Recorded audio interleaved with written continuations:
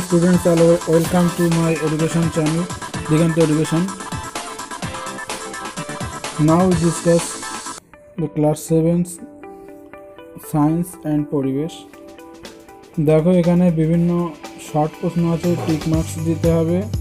এমন একটি খাদ্যের উদাহরণ যা থেকে শক্তি পাওয়া যায় না, তা হলো ভিটামিন।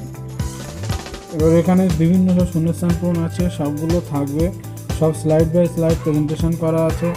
কিছু আমি পড়ে দিচ্ছি না তোমাদের জন্য আর, তোমরা নিজেরাই দেখে পড়ে নেবে। ভালো লাগলে চ্যানেলটা সাবস্ক্রাইব করে রাখবে, যাতে সবের প্রথমেই তোমরা সমস্ত ভিডিওগুলো পেতে পারো।